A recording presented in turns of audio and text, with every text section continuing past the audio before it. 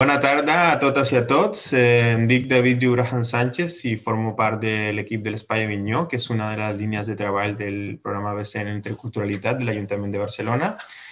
Des de l'Espai Avinyó el que fem és oferir eh, una programació d'activitats artístiques i culturals amb la intenció de generar espais de diàlegs i d'intercanvi de sabers des d'una perspectiva intercultural.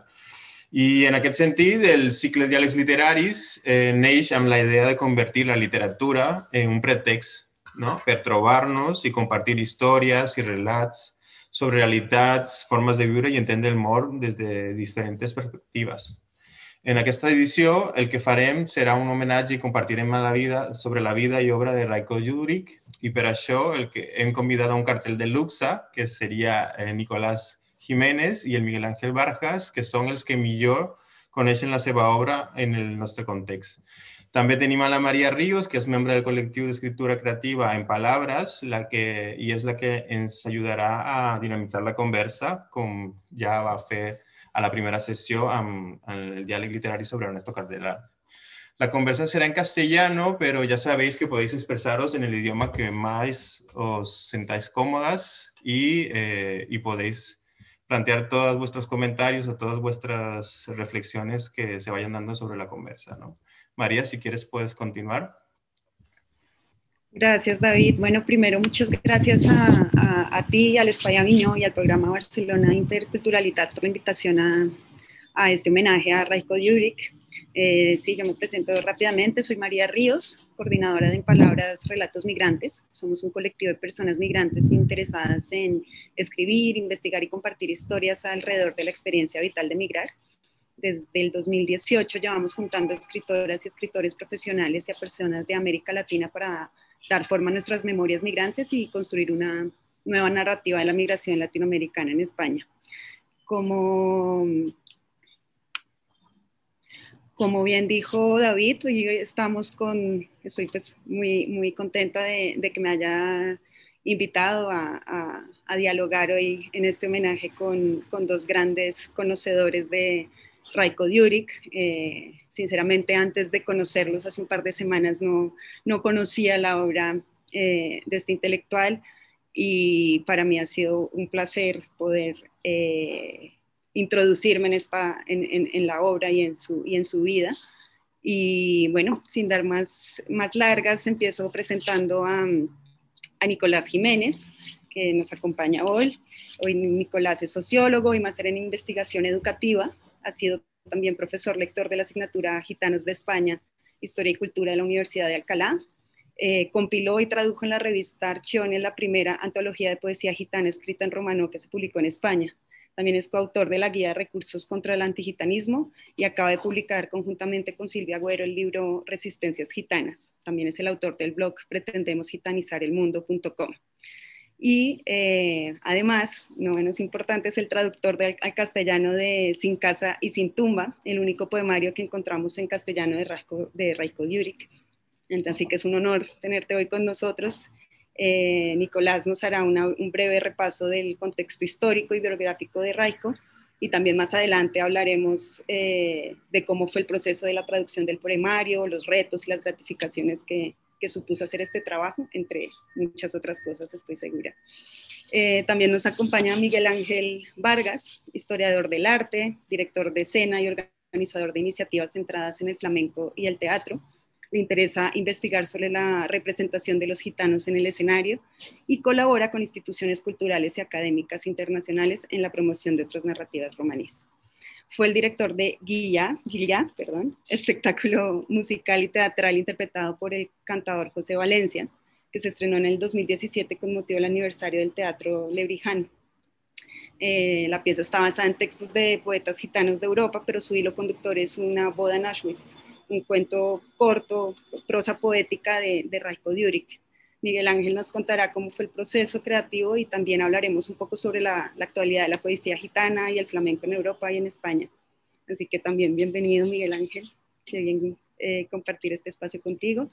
Y para terminar, eh, abriremos un espacio de lecturas compartidas. Es un momento de lectura colectiva de algunos poemas que hemos seleccionado de Raiko Diurik para esta parte. Agradecemos que, las asistentes y los asistentes hoy se unan y, nos, y se animen a, leerlos con nosotros.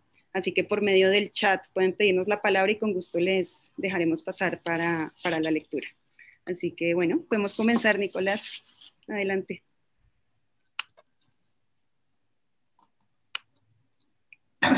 Buenas tardes. Eh, muchísimas gracias a Luis María Viñó por estar atento a las cuestiones culturales gitanas y, organizar este, este, acto, aunque sea online, porque mm, lo hermoso de, la palabra y la poesía es poder compartirla en, en vivo y continuarla después en vino y esas cosas, pero bueno, haremos lo que podamos. Bien, eh, Raiko, Juric eh, es el principal eh, poeta gitano que ha escrito en, romano. Para mí el, mejor, no solo en romano, sino en, las demás lenguas en que, en que, yo he podido leer poesía. Es un poeta de una profundidad tremenda. Eh, Raiko Juric eh, nació en el 47 en Malorasie, que es una aldea cercana a Belgrado, y falleció eh, este último 2020, en noviembre, en Belgrado. Él era licenciado en Filosofía y Sociología, era doctor en Filosofía, ha escrito además de, poesía, ha, escrito ensayos de investigación social, filosófica y cultural. Ha sido un gran activista de la causa gitana, fue presidente de la Unión Romana Internacional y fue secretario y fundador del, PEN Club eh, gitano, del PEN Club romano y ha sido diputado en dos legislaturas en el Parlamento de Serbia, en representación del Partido Unión Romaní de Serbia. Eh, su obra científico-social es, ingente. Eh, se afirma que ha publicado 500 artículos científicos y 34 libros. Yo he podido tener algunos, pero eh, desgraciadamente, la inmensa mayoría de, todo este legado eh, está publicado en, serbio y, no se ha traducido a otras lenguas que, nos permitan acceder a quienes no conocemos la lengua serbia. Eh, su poesía, en cambio, ha tenido mejor fortuna y ha sido traducida al francés, al alemán, al inglés y a mí me correspondió eh, el honor de verterlo al, castellano.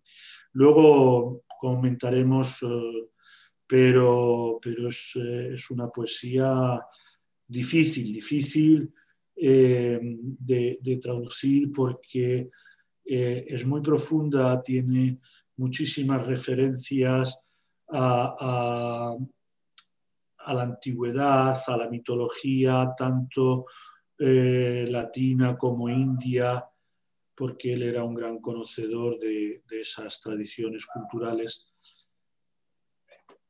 Tuve la suerte de, conocerlo al tío Raico hace, hace 30, 30 años aproximadamente. Eh, en aquellos años 90 Además, fuimos coincidiendo muy a menudo porque eran, eran momentos de, mucho, de mucho movimiento, de mucha fuerza del movimiento gitano internacional.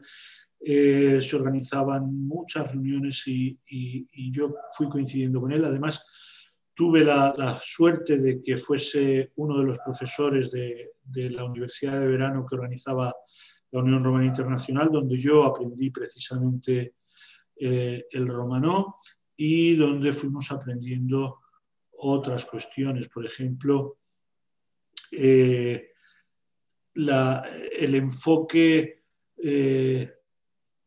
descolonial sobre, sobre la historia y la cultura gitana, aunque todavía no se utilizaba esa terminología, pero, pero el tío Raico nos animaba y nos enseñaba que había que investigar eh, desde la mirada gitana, desde la episteme gitana, desde la cultura gitana, y que ahí encontraríamos las claves para, poder ir entendiéndonos. Eh, a nosotros ir entendiendo el mundo. Eh, el tío Reiko como, como persona mm, era, era, un tipo muy, muy afable, muy simpático, muy cariñoso.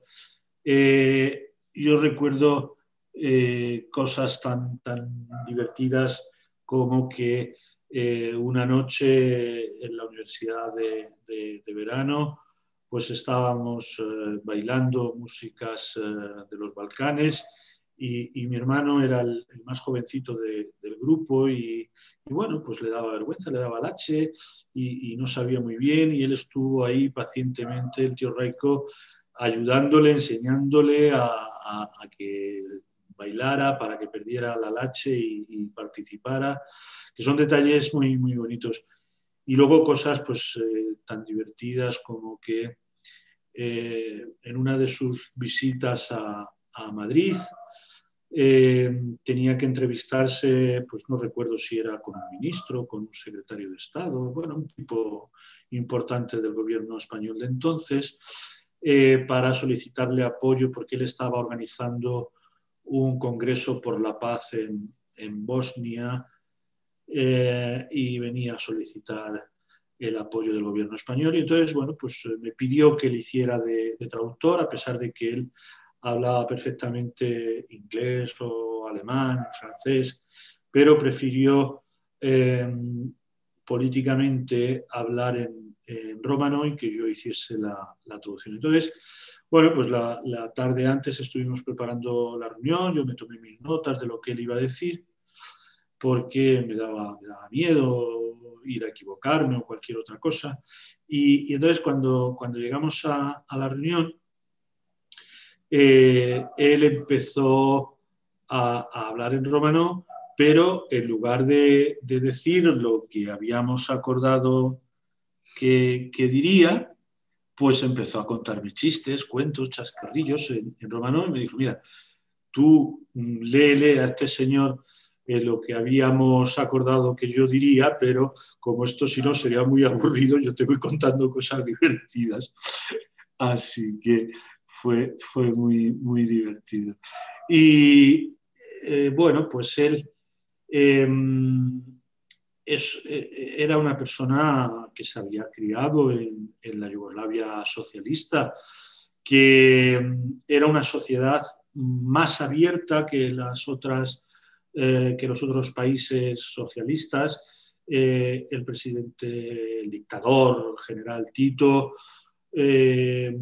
no formaba parte del Pacto de Varsovia, lo cual le permitía algunas eh, libertades, eh, tenía buenas relaciones con, India, formaban lo que entonces se llamaba los países no alineados. ¿eh? Y, esto permitió que mucha gente gitana tomara contacto con, con India y, las embajadas de, India en Yugoslavia fueron muy, muy activas. De hecho, eh, el gobierno indio eh, colaboró en la organización del primer Congreso Mundial Gitano, celebrado en Londres en el 71. Este año se cumplen 50 años y nadie se acordará. Eh, pero, pero este congreso es el acto fundacional de, la causa gitana internacional, eh, que surgió de una manera absolutamente improvisada porque no, no era un, congreso, o sea, no era una reunión pensada para ser el congreso, sino que era una, una reunión preparatoria para el congreso que después tendría lugar en el Palacio de la UNESCO en París eh, pero cuando vieron que, había tantos gitanos de tantos países diferentes, dijeron, pues esta es la nuestra, vamos para adelante. O sea, lo hicieron muy gitanamente, dijeron, este va a ser el primer congreso. Y, bueno, pues en aquel congreso se decidió el diseño de, la bandera gitana, se, compuso el himno gitano Yelem Yelem eh, y se acordaron eh, un marco de acción política que, sigue estando vigente, desgraciadamente, porque no se ha, avanzado eh, por parte de una respuesta de los gobiernos de Europa, no ha habido respuesta a esas reivindicaciones, por tanto seguimos prácticamente las mismas reclamando que se mejoren los, los niveles de, de, inclusión de la población gitana, que se luche contra el antigitanismo, que se promueva nuestra cultura, nuestra lengua, etc. Y mm, el tío Raico no participó en aquel, en aquel congreso, pero eh, sí que vivió muy de cerca porque eh, él era un, estudiante, alumno de Slobodan Bebersky, que, sí que estuvo y que sí que fue presidente también de aquel congreso y de, y de la Unión Romana Internacional. Eh, y, bueno, pues era, era un poco su, su guía espiritual y, política. Entonces, eh, bueno, un tipo que a pesar de, eso, pues de, venir de ese eh, del este de Europa, que, ya sabemos que, tenían esa otra forma de, vivir y demás, pero, pero había, había viajado bastante y era, era muy abierto, eh, conocía muchísimo la, diferentes formas de, la cultura gitana y en especial eh, le gustaba mucho el, flamenco. Y, bueno, pues uno de esos eh, viajes que, que, estuvo en, Madrid, eh, fuimos a, ver a, un bailador, a, a, Faico, y compuso, mientras veíamos el espectáculo, compuso un, poema que es, eh, no, se ha publicado en, ninguna de las antologías que, que, se han publicado en otros idiomas, eh, me, lo, me, lo, regaló cuando, cuando acabamos el espectáculo, en el mismo papel donde, donde lo había escrito, me, me lo regaló, luego yo le, hice una fotocopia y se la, se la envié, pero, pero no ha aparecido en ninguna de, de esas eh, colecciones de sus poemarios.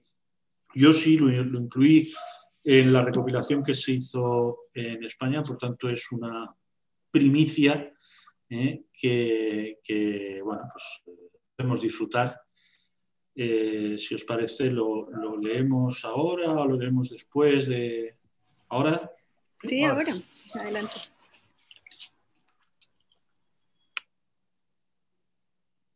Eh, yo os lo leo en, romano y, y, como tenéis en la pantalla la, traducción que, que, le hice al castellano lo podréis eh, seguir.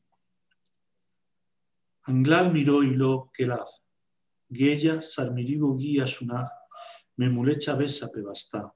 Miró que lipen lenker diol, oilo cataro de beldikiol. Hoy gilie, mire que limnasco, hoy que lipen, mire gilabimnasco.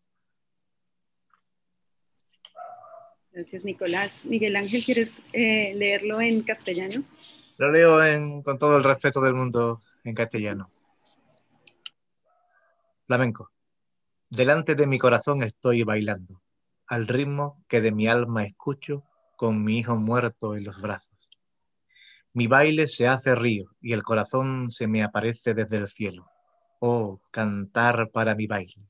Oh, baile para mi cantar bonito.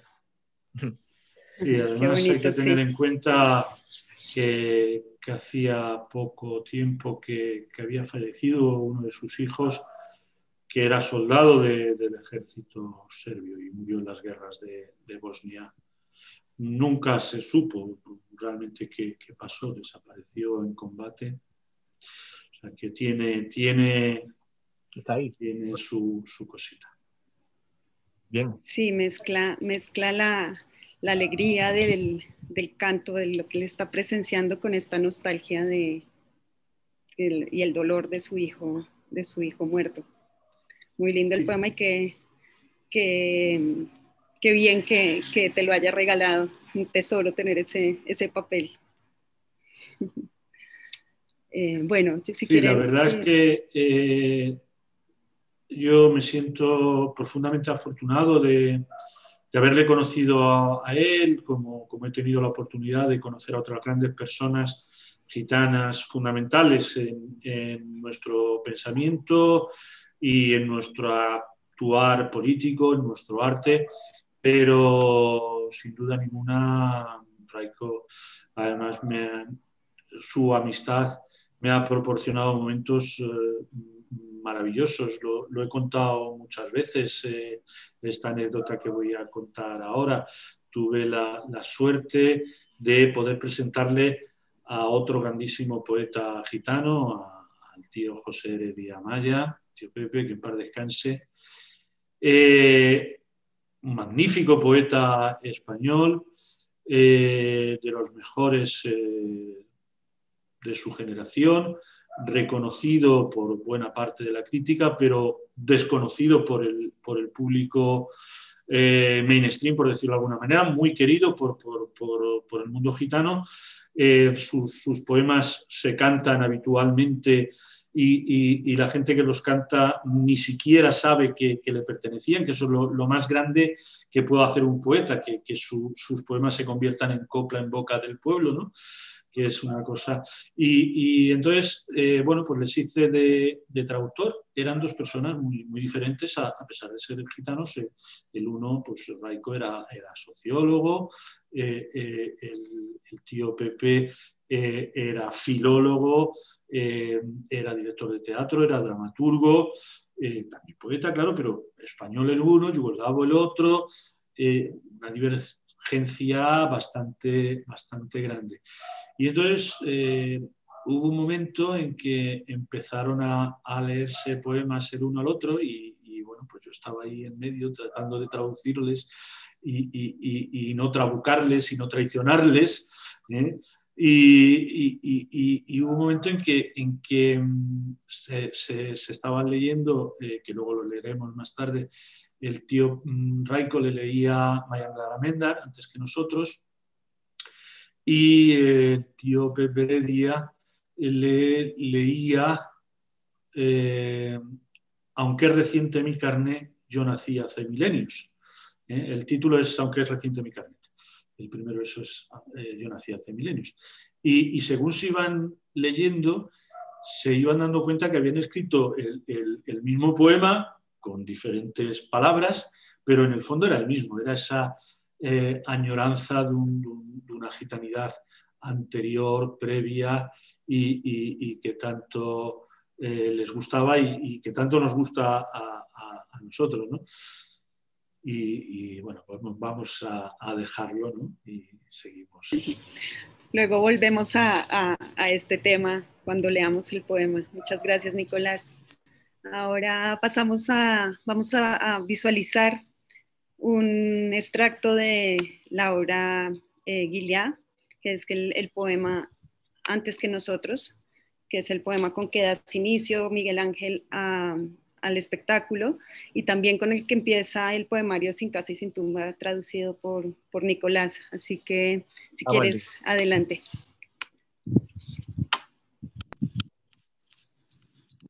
¿Que ¿Quién era esa pareja? Me preguntas. Ah, no, perdón. Es este, es este, este, perdón. Fallo mío. Aquí va.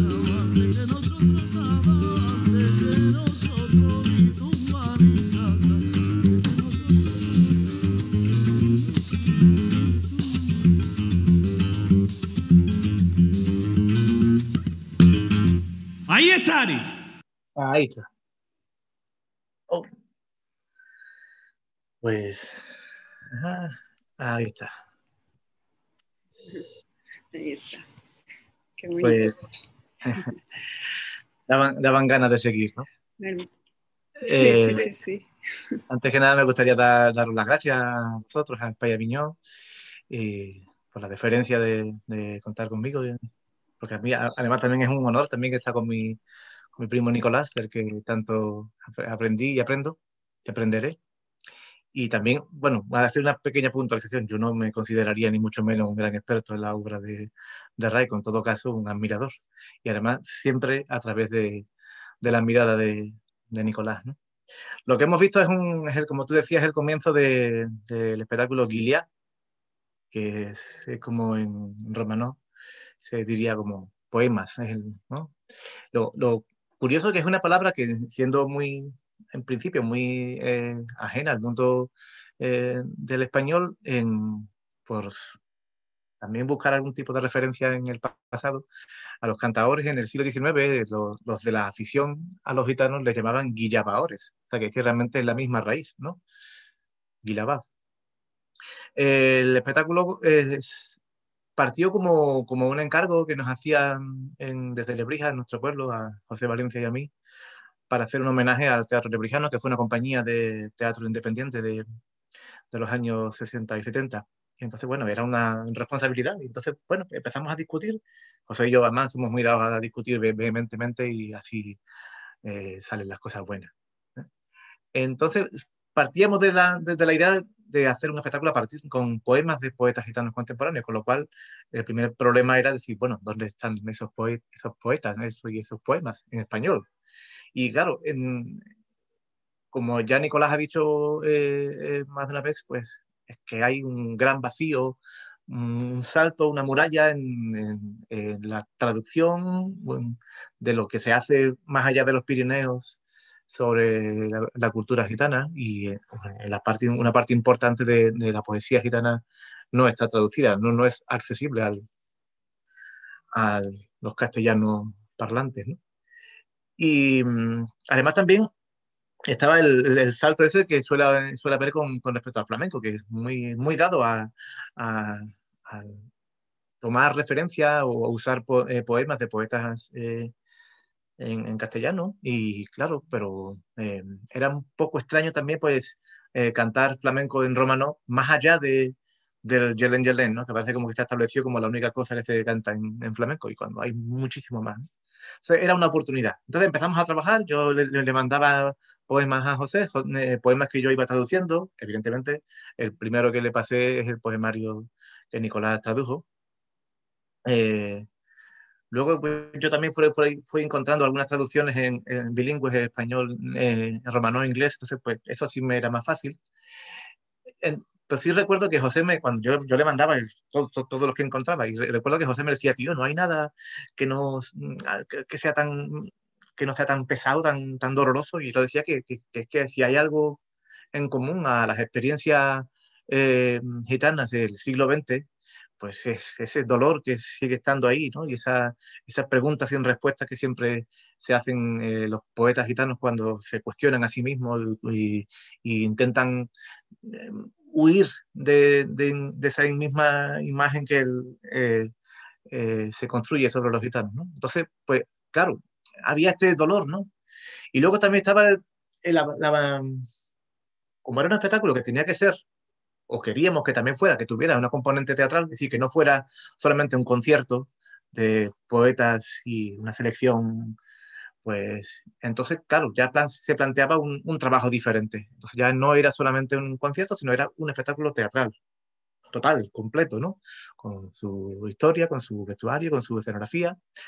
Además también hicimos la, selección, eso también es importante, eh, eh, destacarlo que em, hicimos una selección de artistas que todos eran gitanos, menos Juan Requena, que, que es el, el escudero de, José Valencia, que es, el, es uno de, de, los compositores de la música, que, que, es una maravilla, pero es un, es un, es un músico de Málaga que lleva toda la vida alrededor de los gitanos, es alguien como muy sensible al mundo gitano. O sea, todos son gitanos.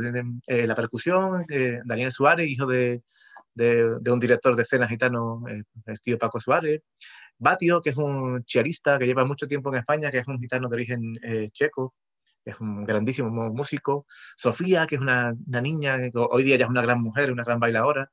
Eh, Sofía Suárez. Y luego nuestro hermanito, bueno, mi hermanito Helios, eh, gran poeta y pensador gitano español, a quien convencí para que se apuntara a esta aventura, ¿no? Entonces, bueno, como siempre hay, en el flamenco además también está esta, estas dinámicas que son complicadas de romper en cuanto a, a cómo se ensaya, cómo se crea, y, pero bueno, al final eh, fluyó todo y en muy poco tiempo conseguimos armar eh, el espectáculo. Ahí, había una clave que fue la que nos dio el tío eh, Raico, casi como diría Nicolás, de forma gitana, muy no diría improvisada, pero como que nos dimos cuenta de que eh, había ahí un, que nos vino como, de, como un anillo al dedo, ¿no? que es la historia que tú comentabas, María, de una boda en Auschwitz. Y es, es una historia en la que se narra en primera persona eh, la experiencia la memoria de un escritor gitano de su estancia en Auschwitz. Entonces, para mí era importante porque eso nos ayudaba a darle valor a, a la capacidad, a, lo que hoy dirían la agencia, ¿no? pero en este caso a, la capacidad mm, gitana de reflexión. Y, y entonces el, el, la historia de una boda en Auschwitz nos permitió además también organizar dramatúrgicamente todos los demás poemas. Con lo cual, de forma que el público, cuando vea, porque puede verlo, está, en, está en, alojado en, en, la página, eh, en el archivo ROM Archive, el archivo digital de los gitanos, ya está ahí guardado para la eternidad, o por lo menos para este tiempo de pandemia que parece como que ha venido también a, a, al caso. ¿no? Pues puedes ver que ves el espectáculo y, y, no te das cuenta que son ocho, poetas, ocho poetas gitanos diferentes. Parece como que todo está, además, como que todo es de un solo poeta, ¿no? Y eh, como también Nicolás ha dicho, esa, esta, hay también una curiosidad que mm, están también los poetas, hay varios poetas, poemas de, del tío Pepe Heredia, y es como que comparten un mundo, comparten también cierta, ciertas similitudes estéticas y vivenciales, ¿no? y con mucha diferencia, como Nicolás decía, una dictadura como la franquista y una dictadura como la de Tito, ¿no? Pero ahí hay un mundo común ¿no? de, preguntas y sobre todo de valorar la capacidad eh, del poeta gitano como, como, su, como sujeto. ¿no? Y bueno, pues en principio eso, eso sería lo que podríamos aportar, que hay un caudal de literatura gitana que está disponible y que nos permitiría además también enriquecer mucho más nuestros, nuestras experiencias y que también no, nos darían mucho más fortaleza. ¿no?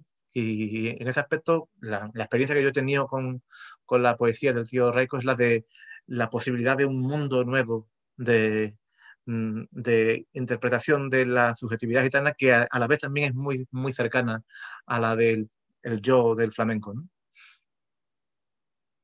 Pues eso, no sé si podríamos comentar alguna cosa más. Sí, Miguel Ángel. Eh, bueno, y aquí Nicolás también, que, que, vamos a hablar un poco antes de pasar a las, a las lecturas eh, compartidas eh, sobre, sobre el, el, impacto que ha tenido eh, este espectáculo teatral, cómo fue, cuéntanos un poco cómo fue el estreno, qué comentarios, que... Bueno, en, como espectáculo, claro, eh, esto suele pasar mucho en el, en el mundo de, de, de, las artes escénicas, que no, nunca sabes cuándo va a funcionar algo. Entonces tú haces, haces el trabajo con todos los pasos que tienes que dar, con la esperanza de que aquello se convierta pues, pues, en una referencia mm, que se quede en la memoria. Al final, las artes escénicas son siempre eh, un arte muy referencial de la memoria y que se quedan, pues todos, todos tenemos experiencias, eh, memoria de espectáculos que se nos han quedado grabados. Lo que pasa es que es, lo complicado es el soporte. Eh, claro, ahora mismo en, este momento con, la pandemia del COVID, valoramos mucho el, que haya un registro mmm, físico o, en este caso digital, de, lo que se ha sentido en, al visualizar un espectáculo. ¿no? Eh, podría también contar, por ejemplo, como eh, en este caso también yo buscaba, yo buscaba eh, que, el, lo que se ve en el, en, el espectáculo fuera lo suficientemente abierto también para que fuera una experiencia eh, más universal. Es decir, es un campo de concentración, pero tampoco queda muy claro. Es, de hecho, lo, los materiales que se usan son muy, muy, son naturales, son, hay hojas secas, hay piedras, hay maderas. Eh, recuerdo la, el testimonio de una chica saharaui, una señora, una señora saharaui que vio el espectáculo y le parecía como que era pues, una experiencia muy cercana ¿no? a, la del el mundo, el mundo saharaui. Eh, luego, claro, evidentemente el público tiene una reacción de emoción. Y, y tiene, también era muy sorprendente mm, para la gente pues, buscar esa referencia de escuchar el romanó en, en, en, en labios de un cantador eh, gitano de un pueblo como Lebrija, que es pues, de una tradición flamenca, pero claro, mm, donde se canta evidentemente en, en andaluz y con alguna palabra en calor, que es como otra cosa. Entonces, claro, conseguimos, hicimos un buen trabajo colectivo de, de combinar el español con el romano. Entonces, creo que, bueno, eh, el público podrá, podrá verlo y podrá compararlo, pero creo que eso, como decía, es una oportunidad para los futuros espectáculos. Yo creo que eso es lo, es lo que más nos, puede ayudar en, el visualizar este, eh, este, este tipo de, de espectáculos o hablar sobre la, obra de Raico, que es no solamente hablar del pasado, sino intentar proyectarlo hacia lo que se puede hacer en el futuro, lo que está por descubrir. ¿no? Eso es lo que yo más...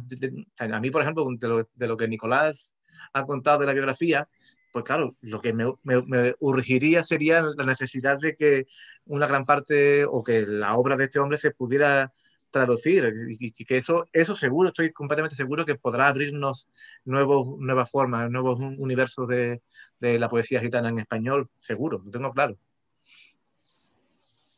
Muy bien, sí, aquí tenemos un- una pregunta de Pedro Casemeiro que pregunta, ¿crees, ¿creéis que hay paralelismos entre poetas, escritores romaníes de diferentes lugares y tiempos?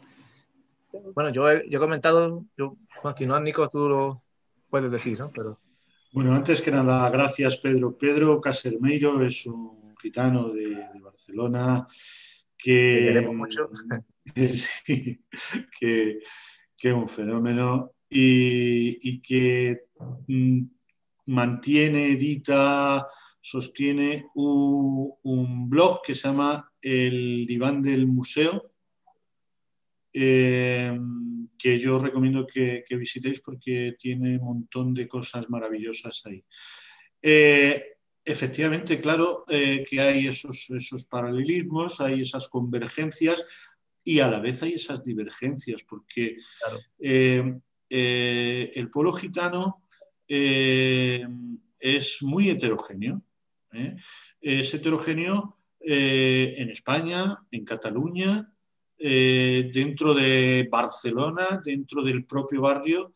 Cada familia es, diferente, cada, cada familia tenemos una versión familiar de, de la cultura propia, de la cultura gitana y que creemos que es la, la más guay.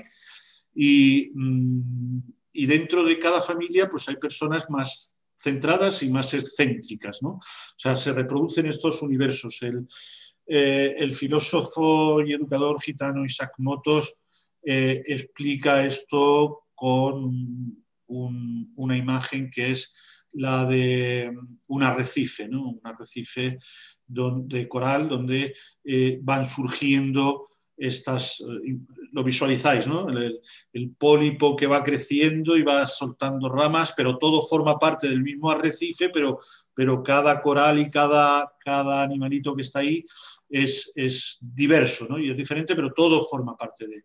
Entonces, esto es así. Claro, las vivencias son completamente diferentes mm, históricas, las vivencias históricas, los- las experiencias históricas son completamente diferentes.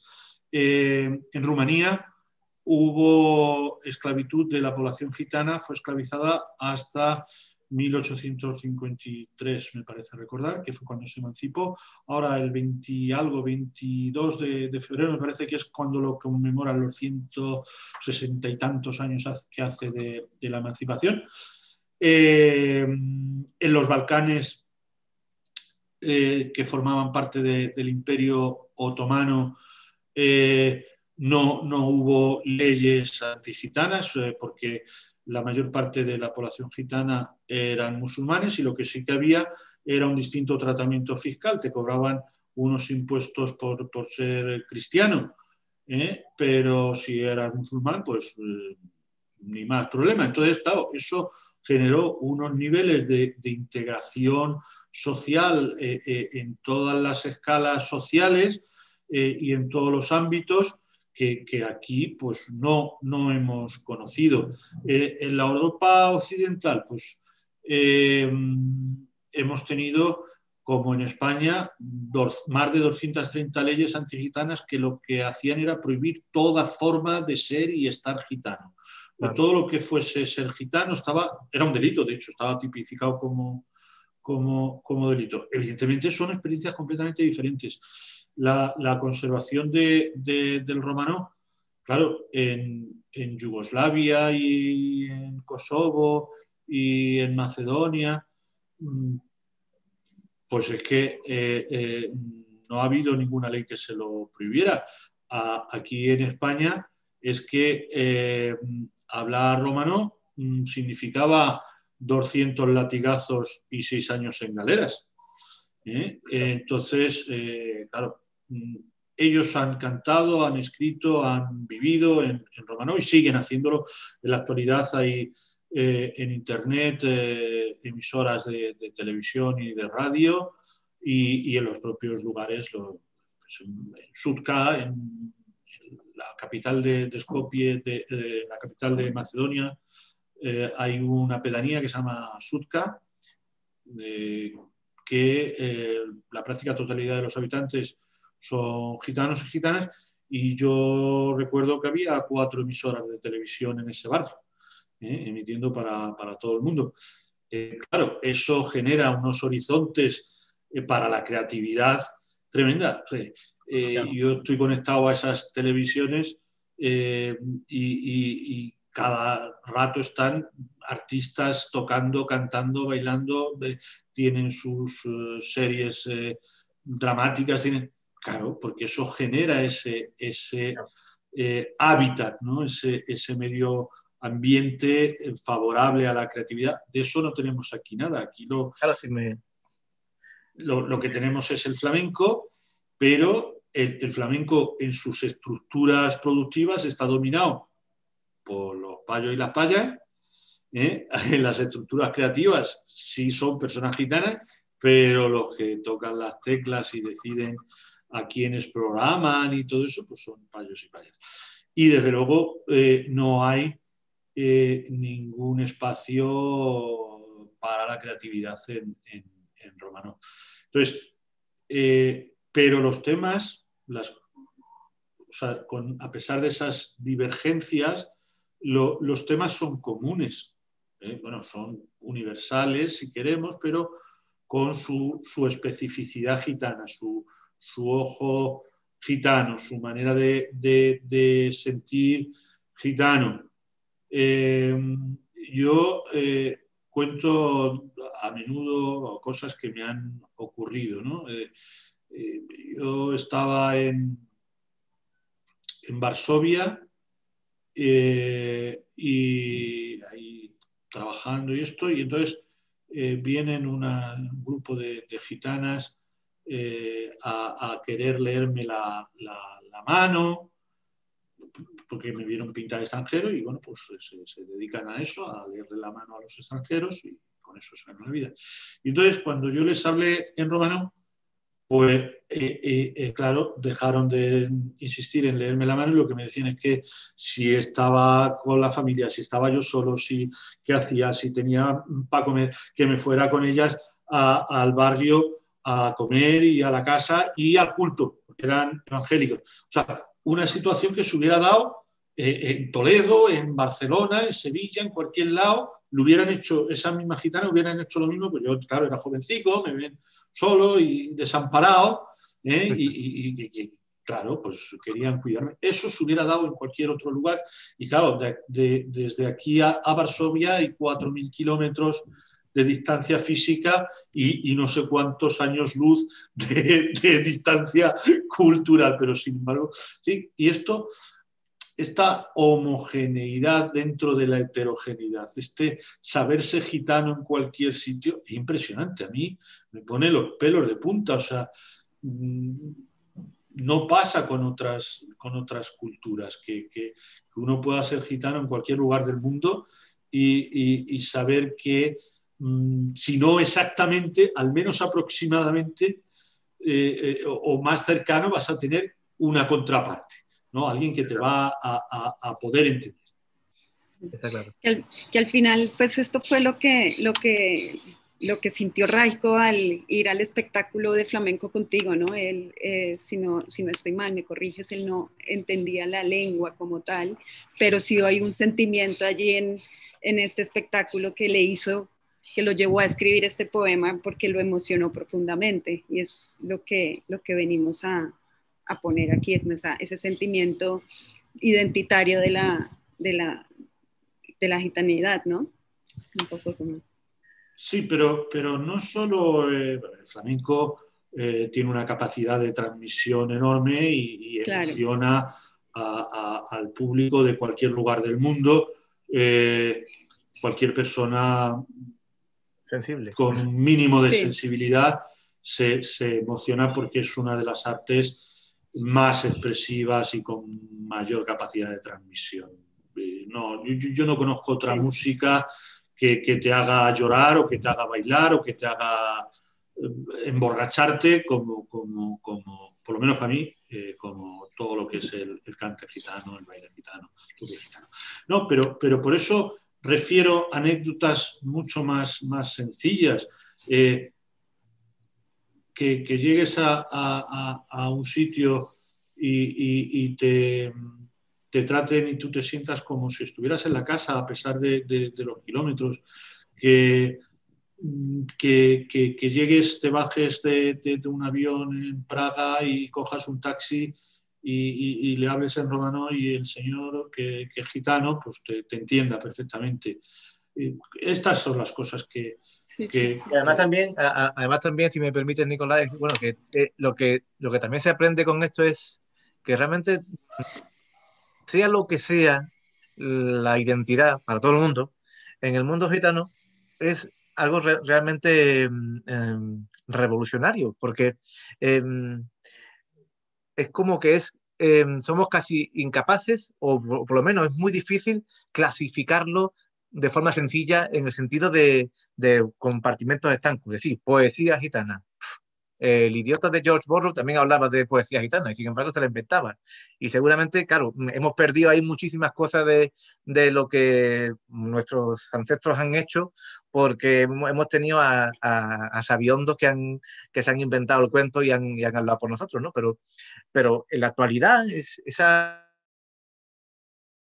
esa riqueza de, de, de posicionamiento de experiencias vividas, de lo que decía Pedro de vasos comunicantes, y de que sí, que es, está toda en la base de la, de, la, de los sentimientos universales o de la lírica universal, pero es es, está a caballo entre Oriente y Occidente. Por eso, por eso como bien ha dicho Nicolás, lo que el, tío Raico ha dejado escrito, investigado, él junto con otros, como Ian Hancock, como otros muchos investigadores, investigadores gitanos, lo que nos han hablado son cosas que hoy día están a la orden del día, en cuanto a, la perspectiva situacional, a la perspectiva eh, eh, de colonial. Es decir, pues sabemos que eh, mm, hay una flexibilidad hay una, una capacidad de adaptación que es la que hoy día pues parece como que es, eh, eh, lo, son los procesos que están, eh, se están dando ¿no? en todo el mundo. Bueno, pues, eso lo, han hecho los gitanos toda la vida. el poder resistir de muchas formas muy diferentes. Y en, este caso, claro, lo que sí es cierto, volviendo a la poesía de, de, de Raico, como de el tío Pepe, como de otros poetas gitanos del siglo XX, ahí sí puede ser que haya en común además también el dolor del siglo XX. El siglo XX ha tratado que, evidentemente estamos, hablamos, de 600 años en, en, Europa de, de, maltrato, ¿no? Pero el siglo XX ha sido especialmente duro, ¿no? Claro, no, eh, al final parece como que es el, el eh, que es como el, el, el, el parece como que, es el holocausto gitano, que, que, es como el episodio más duro de la historia de los gitanos. Pero bueno, eh, sabemos también que a fin de cuentas no es más que una continuación de algo que parece que todavía sigue, ¿no? Y que, sin embargo, los gitanos siguen también a la vez eh, resistiendo de forma activa en, en múltiples formas. Yo, yo siempre intento eh, destacar que los gitanos siguen creando, que siguen teniendo sus propios espacios. Si yo, mmm, sí, frente frente al, concepto de víctima que existe y que hay que reclamarlo también, hay que, y que desde la posición de víctima hay, también que poder denunciar y que poder también mmm, reclamar políticamente, también a la vez se hay, que, hay que contestarle como que además de, esta posición de, de, víctima en la que nos habéis colocado, también existe la capacidad de poder eh, sobreponerse a estas circunstancias. Y eso a mí me, es una de las cosas que más me... Yo estoy con Nicolás, que también me, me gusta mucho el poder encontrarme con gitanos de otros países y reconocerme en eso, en esa profunda diversidad y en esa capacidad absoluta de poder sobreponerse a, a, historias muy traumáticas y muy trágicas, ¿no? Y claro, evidentemente, eh, esa alegría que existe después de un, de un dolor es una doble alegría, ¿no? Eh, sí, pero, pero, pero además, sin, sin, sin entrar eh, en esas cuestiones trascendentales y, tal, no, no, en cosas cotidianas, cosas cotidianas, en gestos, en formas, en... en o sea, eh, mm, que, que, que, yo he estado en, en Atenas y, los gitanos me estaban dando gloria bendita, una juerga, nos vamos para casa, para el hotel, pone el gitano eh, en el radiocasete, fijaos si soy antiguo, había radiocasete en los coches. Eh, la gente que nos está viendo, la mayoría no sabe lo que es un, un radiocasete. Eso es prehistoria. Eh, pone el gitano la cinta de, Radio y, y, yo digo, ¡ay, qué, bonito, qué, bien! y coge el gitano, saca la cinta y me la da. Llévatela, primo. O sea, es que eso te lo hace, lo hacemos todos los días nosotros, este tipo de cosas. Eso es lo que a mí me, me, me emociona, me impacta, me, me, conmueve, me hace ver que efectivamente mmm, está todo eso. Y, pero, pero eh, eh, tiene, tiene, tiene mucha, eh, mucha magia, ¿no? para mí, porque claro, hemos crecido en contextos socioculturales muy, muy diferentes, muy diversos. hay muchísima diversidad en, en, en todos esos contextos, ¿eh?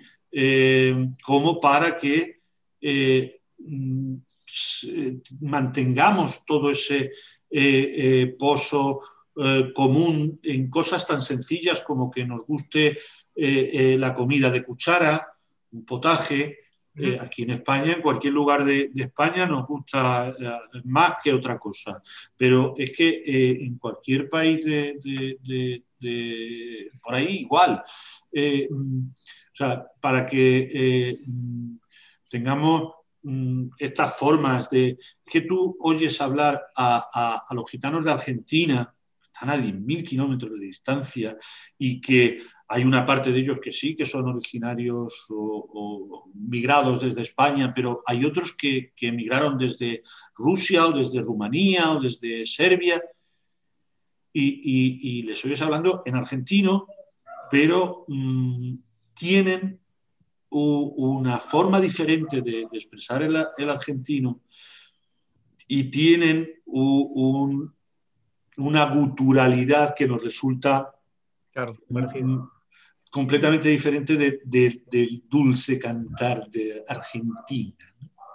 Yo, a mí me gustaría como cerrar esta parte, sí, bueno, cerrarla, por lo menos me gustaría eh, insistir en, en, un aspecto que, que, creo que también que, que es bueno que lo, que lo dejemos eh, eh, para que se continúe, porque yo espero que esto continúe, este, este amor por la poesía gitana contemporánea, este pasión por la capacidad creadora de los gitanos, es que también hay un elemento que creo que también eh, es común, a, por lo menos a la poesía que yo he podido leer a, a los poetas gitanos, que es la del contexto. Y en este en el, contexto en el sentido de posicionarse eh, personal y políticamente desde su poesía en el contexto en el que viven. Claro, en este, en este aspecto el tío Raikot vive, imaginaros, nace en el 47, si mal no recuerdo, y, y y falleció el, el, el, año pasado. Entonces, casi eh, pues, es el resumen del, de la segunda mitad del siglo XX. Y, y además en un contexto tan, tan lleno de, de, contradicciones como es el de la Yugoslavia eh, comunista, que, a, la vez también, como bien ha, contado Nico, a pesar con, con esa particularidad de no estar alineado, pues también, en cierta forma, fue también un reflejo de ese renacimiento de la cultura gitana eh, mm, que ya había habido en Rusia en los años 30 y que pues en cierta forma también llegó a España en los años 70-80, ¿no?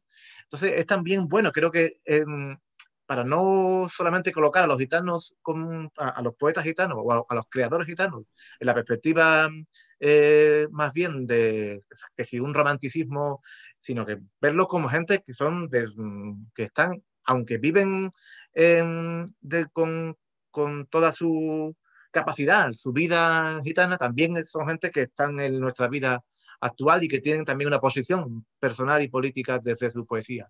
Y eso creo que también es bueno decirlo, ¿no? como que el ser poeta gitano también es una posición política. Muy bien, muchas gracias. ¿Qué os parece si pasamos ahora a, a las lecturas compartidas y seguimos ahondando en la poesía de Raico y discutiendo todas estas cuestiones tan interesantes? Eh, eso, empezamos por el número 3. Invitamos a las asistentes y los asistentes a participar. Quien quiera apoyarnos en la lectura no es sino que nos lo diga para darle paso a, la sala y pueda, pueda leerlo en voz alta. ¿Alguna voluntaria o voluntario? Pues, si, no se, si no se anima nadie, ahí estamos Nicolás, María o yo. Si queréis empiezo y si hay algún voluntario... Perfecto.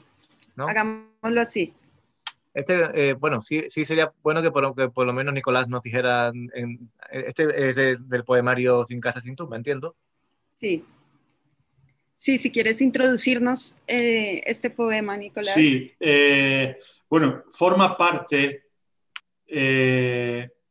forma parte de la antología Viqueresco, Bilimoresco, Sin casa y, y sin tumba, pero mm, eh, originalmente, eh, originalmente, estoy buscando el libro un momentito y os lo digo, originalmente, sí, eh, formó parte de, ese libro. Es que Viqueresco Bilimoresco fue un libro, un primer poemario, y luego ha servido para dar título a las diversas antologías que se han ido publicando eh, en otros idiomas eh, que no sean romano o, serbio, eh, los, poemarios, lo que se ha publicado han sido antologías.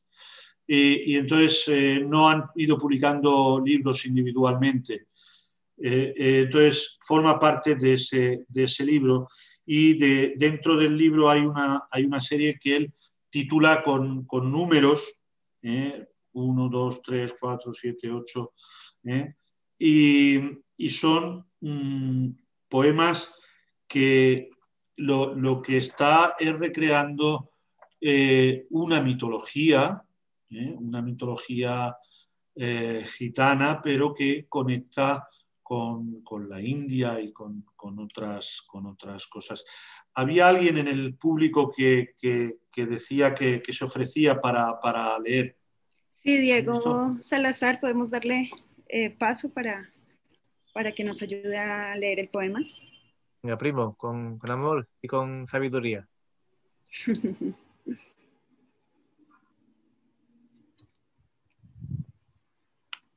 ¿Le escucha? Eh, espera. Esto es como la radio. No, aún no le hemos dado paso. Si quieres, eh, si quieres Miguel Ángel, empieza con este y, ya Diego sigue con el Allá va. Nueve días, desde la luna llena hasta la fuente hay, y aquí está el espejo del bosque en cuyo fondo descansa el pez. El pez sabe la verdad. Únela, voz sobre voz, hasta que la luna no se levante, cuando el bosque hable y el cirio arda se apartará el fuego del agua. El agua se desgarrará, el camino se revelará, y cuando el cinco sea dicho, en el diablo de las aguas morirá el amor, los reyes serán olvidados y perderá su fuerza.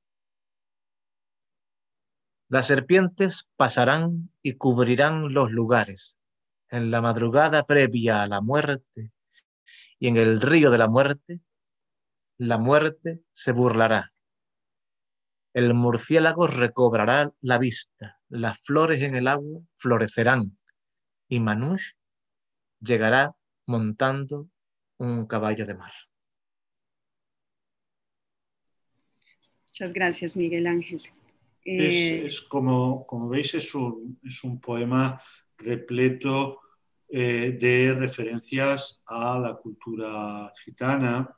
El pez eh, es protagonista de muchísimos, de muchísimos cuentos tradicionales, gente que al cruzar un río ve a un pez mágico, un pez dorado, un pez que le dice, aparecen muchísimos cuentos el, el pez, en muchos cuentos tradicionales gitanos. Eh, eh, y, por supuesto, eh, la, serpiente, por supuesto, la, rueda de, de, la vida que está ahí representada. hay, pues eso, muchas, muchas referencias. El murciélago. Murciélago también es un, eh, eh, murciélago en, en romano, eh, en, algunos dialectos se le, llama el, afortunado, porque, porque en, las, en muchas tradiciones gitanas aparece como el que trae fortuna, que trae la suerte. Y, luego la última referencia a Manús que es eh, en sentido eh, universal, hombre, persona, en sentido universal. Es un poema muy evocador para mí. Muchísimas gracias. Sí, pasemos si quieren al, siguiente, ya que estamos eh, sobre el tiempo. Y este poema lo hemos puesto tanto en romano como en castellano. No sé si hay alguno o alguna que se anime, a se anime a leerlo en cualquiera de las, dos, de las dos lenguas. No sé si ya le dimos paso a Diego para leer el poema. me parece que no. Hola, ¿me escuchan? Ahora sí. Vale, hola, pues muchas gracias. Voy a pasar a leer entonces el poema La Luna, ¿de acuerdo? Adelante. La luna se ríe. Nosotros, alrededor del fuego, lloramos. El llanto vuela. La risa desciende. El cielo se perfuma de llanto. Y nosotros de risa. Si la luna se cegara, aunque viéramos, ¿quién hablaría? ¿Dónde el ala del llanto y la de la risa? Se encontrarán. Muchas gracias, Diego. Eh, qué, hermoso poema. En este... Además, sí, cuéntanos, Nicolás. Sí, además eh, es una... Lo que evoca es un velatorio. Un velatorio, sí. Eh, y, y, bueno, esto, esa contradicción entre, entre la risa, el llanto, el dolor, y, la juerga que, se produce muy habitualmente, evidentemente no entre las personas más allegadas de, la persona fallecida, pero, pero que es habitual y estar ahí eh, en torno a, una hoguera y, llorando y riendo y de, pasar de la risa al llanto, eh, o al revés, del llanto a la risa, recordando a la persona que ha faltado o cosas así. A mí me, me gusta muchísimo. Sí, es un poema muy hermoso, muy bonito. Em, Miguel Ángel, ¿te parece si damos eh, paso a una parte de, Sí, es. La parte de tu vídeo.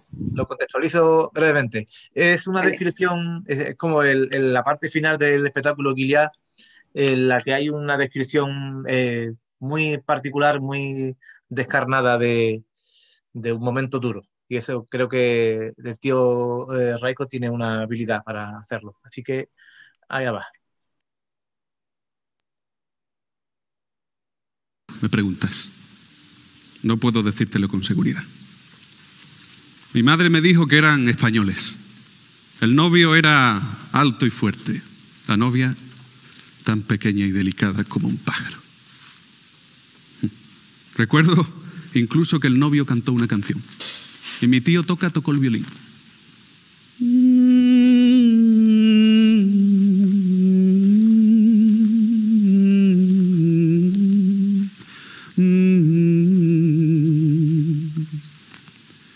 Una canción bien triste. Luego nos llegaron rumores sobre ellos, que eran comunistas, que eran espías nazis, que ni siquiera eran humanos, sino muñecos vestidos por los nazis de novios para su divertimento. Hubo incluso quien dijo que habían sido enviados por Dios para explorar cómo vivía la gente en Auschwitz y qué pasaba en la tierra.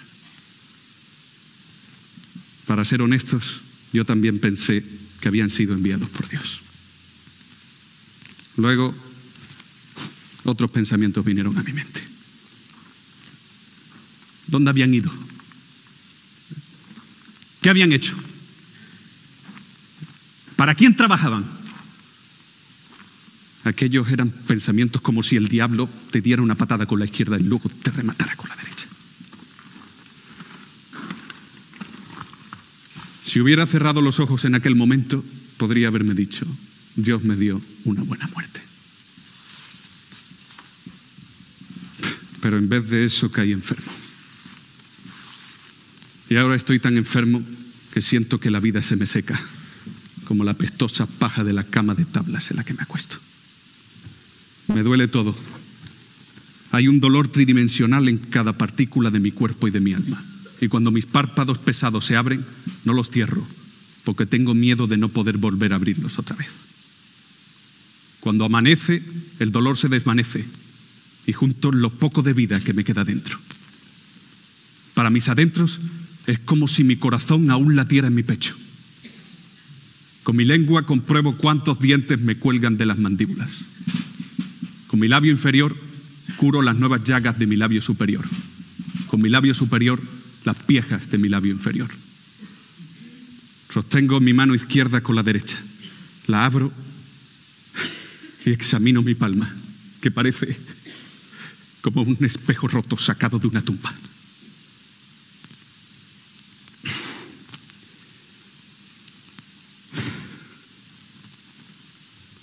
Cuando pude volver a levantarme por mí mismo, no tuve más remedio que marchar para pasar revista fuera. Camino. Tambaleante lo hago. Soy un atillo de paja ardiendo, pero tengo miedo de convertirme en cenizas y de que se barra mi vida con la escoba de mi ser. Ellos marchan hacia la tumba que guarda la hierba y los zapatos de los niños. Su paso es firme y yo creo que el suelo ha volado y que el cielo se ha caído ahí. Es la...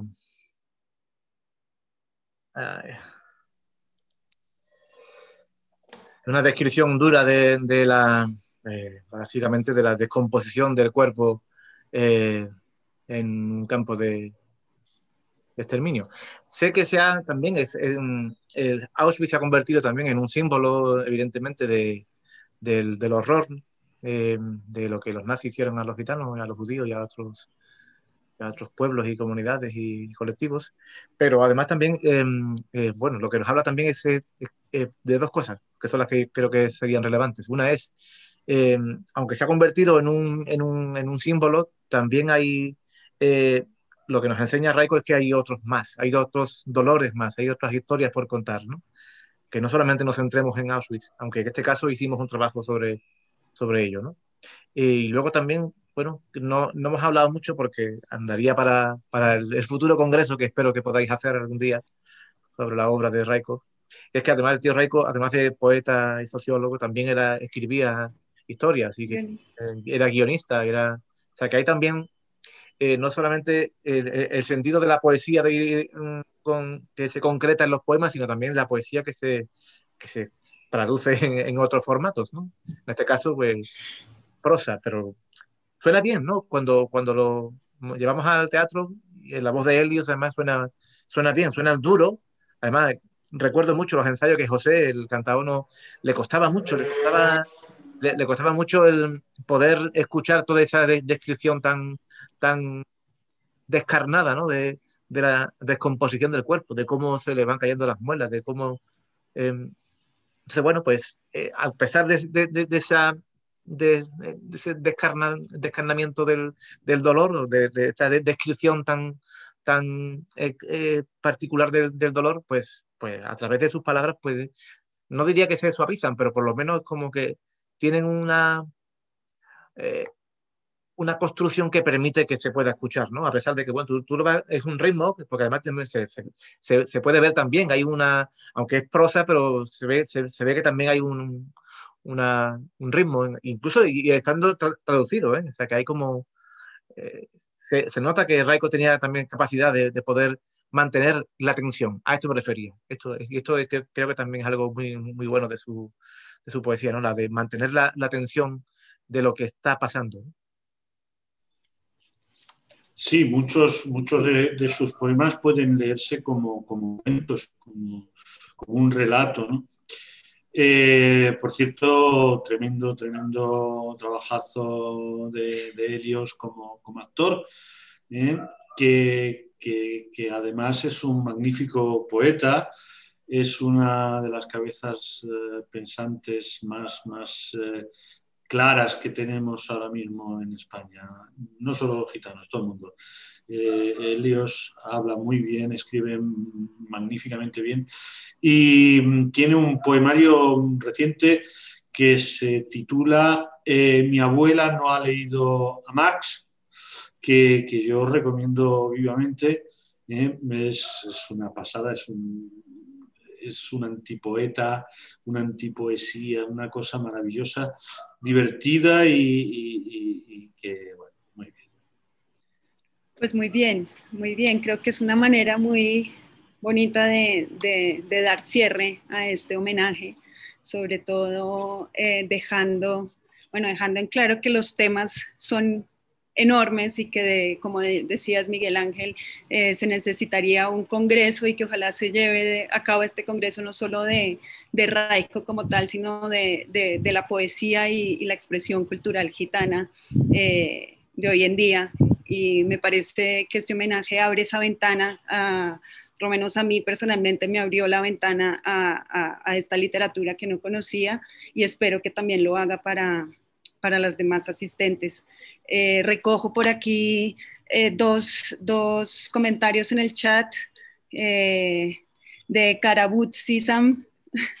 La poesía del tío Raico coge forma de resistencia gitana y política. muy bonito, dice Marqués González Gabriela. Y Silvia Agüero dice, me, me emocionaba y todo. Así que creo que compartimos todos esta, esta emoción y muchísimas gracias David, muchísimas gracias Miguel Ángel y muchísimas gracias Nicolás por, este, por esta hora y media de, de poesía. Sí, yo por parte... A vosotros muchísimas gracias. Y bueno, pues tenemos un libro reciente que hemos publicado, que es Resistencias Gitanas, que si lo compráis y si lo leéis, pues eh, contribuiréis a gitanizar el mundo, nos haréis muy, muy felices. ¿eh? Y también os recomendamos que entréis en, nuestro blog, Pretendemos Gitanizar el Mundo. Ahora mismo tenemos abierta una campaña de GoFundMe para una revista en papel que estamos a puntico de, de, sacar, ya está en la imprenta, pero si contribuís, si participáis, si ponéis un poquitito de dinero, haréis posible que esa revista llegue a más gente y, y lo haga en mejores condiciones. Muchas gracias. Muchas gracias, Nicolás. Solo, bueno, por parte del SPY, deciros muchísimas gracias por, por haber estado aquí en este segundo diálogo.